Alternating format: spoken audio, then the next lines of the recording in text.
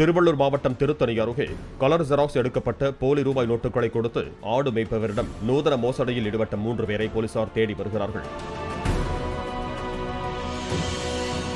ஆடு வைத்துக் கொண்டிருந்த ஆற்காடு குப்பத்தை சேர்ந்த முனுசாமி என்பவரிடம் சென்ற பெண் உள்ளிட்ட மூவர் செம்மறி ஆடுகளை விலைக்கு கேட்டிருக்கிறார்கள்.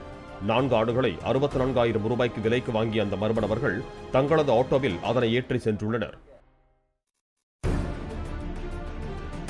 ஆடுகள் விற்ற பணத்தை முனுசாமி வங்கியில் செலுத்த முயன்ற போது அந்த பணம் அனைத்தும் கலர் ஜெராக்ஸ் எடுக்கப்பட்ட போலி ரூபாய் நோட்டுகள் என தெரிய வந்தது. இதனால் அதிர்ச்சியடைந்த அவர் காவல் நிலையத்தில் புகார் அளிக்க நூதன மோசடியில் ஈடுபட்டவர்களை போலீசார் தேடி வருகிறார்கள்.